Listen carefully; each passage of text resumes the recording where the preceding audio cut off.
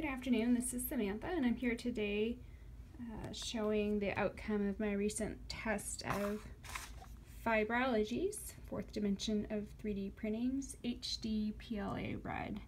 Um, this is a filament that's made in Poland and it came um, to us in this solid box here. It was also then um, wrapped and sealed in this plastic bag and it's a pretty cool filament spool. Um, it's very design forward. It has these nice holes to clamp off the filament. Um, another cool thing is the sticker has the recommended settings right on here. Um, so again, we split the difference, the print temperature of 210 degrees Celsius, and then we proceeded to just follow our normal filament protocol that you've seen in our blogs and on our forum.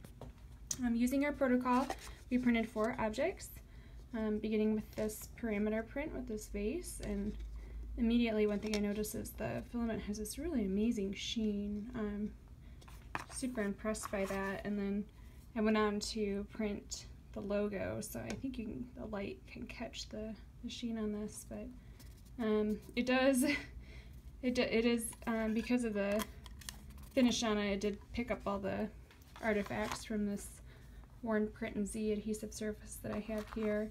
Um, the features on the Benchy came out really well, I thought. Um, probably could have tweaked it a little bit um, if I were to do it again, but uh, really nice out outcomes, good interlayer adhesion, good quality, good consistency, didn't have any breakage um, in printing, and um, yeah, demonstrated the features in our, our prints really well. So I would give this filament um, an A plus and would absolutely use it again and recommend um, it to anyone looking for colors and in, in the Pantones that they offer or just looking for a, um, a high quality, dependable filament. Thanks so much for your time.